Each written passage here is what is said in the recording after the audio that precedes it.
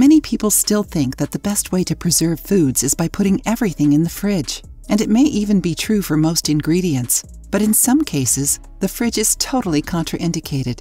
It's proven that some foods actually spoil if stored in the refrigerator. To explain this truth, we will show you six foods that most people keep in their fridges but shouldn't. Garlic shouldn't be stored in the fridge. The low temperature can harm this seasoning, making it unusable. After buying garlic, remove it from the packaging and keep it in a dry, fresh place. Potatoes are another food that should not go in the fridge. Refrigeration makes the starch turn into sugar, which changes the flavor and color of the food. Keep your potatoes in a cool, dark place.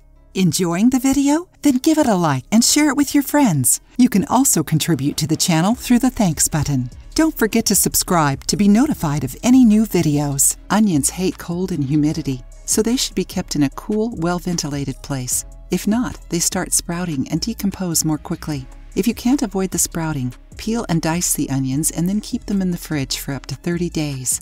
Another seasoning that should not be in your fridge is basil, which can develop dark spots keeping it at room temperature is a better option. The last food on our list is the tomato, which can, actually must, stay out of the fridge. When refrigerated, the tomato breaks its sugars, acids, and aroma producing compounds that make its flavor. The cold also harms the cell structure of tomatoes, giving them an unpleasant texture. So, did you like learning which foods should stay away from your fridge? Tell me, do you keep any of them in your fridge?